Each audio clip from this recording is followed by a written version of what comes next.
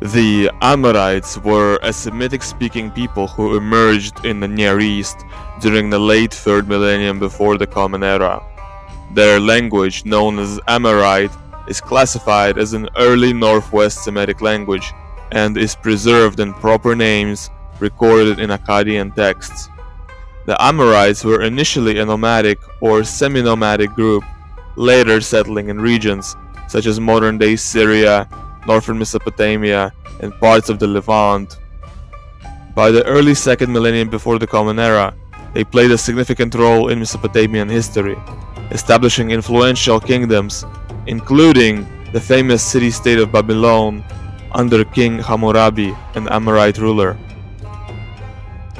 The Amorites are prominently featured on the Mesopotamian records, where they were initially regarded as outsiders and are often described as pastoralists. Over time, they assimilated into urbanized cultures and contributed significantly to the region's political and cultural landscape. Archaeological evidence associated with the Amorites includes cuneiform tablets documenting legal, administrative, and commercial activities, as well as architectural remnants from cities like Mari and Babylon. They built ziggurats, temples, and city walls, leaving a legacy of urban development that influenced subsequent civilizations. The Amorite way of life evolved as they transitioned from pastoral nomadism to urban settlement. Initially known for their reliance on livestock and seasonal migration, they later adopted agricultural practices and established thriving trade networks.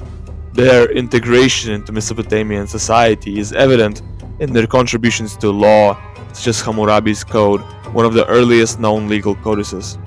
The Amorites' rise to power marks a pivotal era in Near Eastern history, bridging the collapse of the Akkadian Empire and the emergence of Babylon as a dominant force. For this video, I gathered the raw genomes of 16 Amorites from the city of Alalakh in Turkey and ran them through my trait predictor tool for DNA analysis. The links to purchase the 16 genomes, as well as the trait predictor tool, are in the description of the video. The most common Y lineage among the group was J2A, although J1A was also frequently found. One outlier sample carried H2 lineage and one sample carried the T lineage. The most common predicted phenotype was Mediterranean and Pamirid.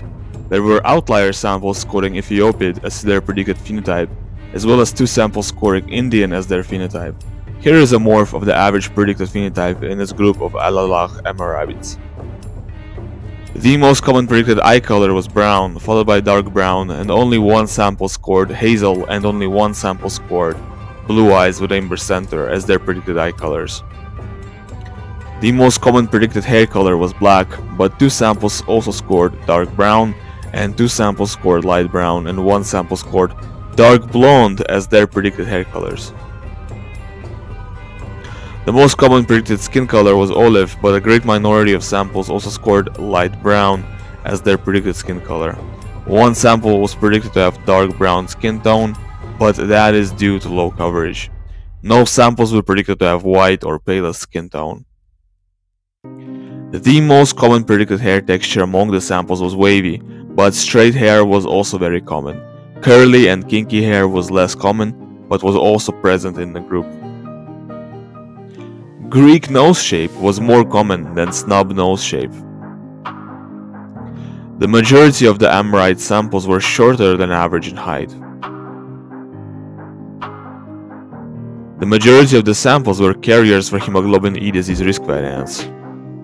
The Amorites had an average predisposition to age-related macular degeneration. The Amorites had an average overall predisposition to epilepsy. The Amorites also had an average predisposition to leukemia. The Amorites had an average predisposition to myopia. The Amorites had low predisposition to a wide range of cardiovascular issues. The Amorites had a slight predisposition to warrior phenotype, meaning higher dopamine levels and lower stress resilience. The Amorites had a predisposition to intermediate D2 receptor site availability, which leads to intermediate propensity for no-go learning and odds of schizophrenia. Speaking of thought disorders, the Amorites had a high predisposition to bipolar 1. The Amorites also had a low predisposition to depression. The Amorites had an intermediate predisposition to ADHD. The Amorites had a high predisposition to autism, and none of them carried the European lactase persistence mutations. The Amorites had a predisposition to a lower level of empathy on the basis of OXTR genotypes. Regarding athleticism, the Amorites were about as athletic as the Europeans are. The sprinter ACTN3 R577X allele was about as common among them as it is among the Europeans. The Amorites are predisposed to significantly lower odds of alcoholism.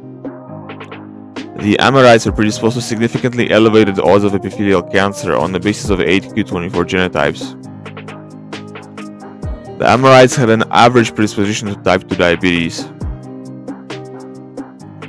Regarding metabolic conditions, the Amorites had an intermediate predisposition to obesity. The Amorites had a roughly average predisposition to Alzheimer's disease. The Amorites had a typical predisposition to autoimmune disease, with the majority of the samples having a low predisposition to autoimmune disease on the basis of HLA genotypes. Speaking of autoimmune disease, six of the samples were HLA-DRB1 carriers for multiple sclerosis risk. The samples as a whole had an elevated odds of rheumatoid arthritis, which is to be expected of West Eurasians. The samples as a whole seem to have a rather low predisposition to type 1 diabetes, which is a bit surprising as this condition is common in West Eurasians and Middle Eastern people.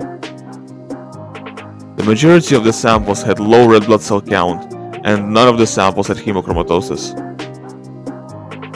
The Amorites are predisposed to an average level of LDL cholesterol. They were also predisposed to high odds of syncope.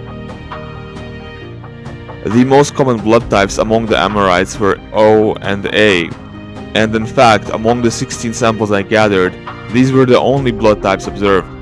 There were no samples with predicted blood types B or AB among the samples gathered.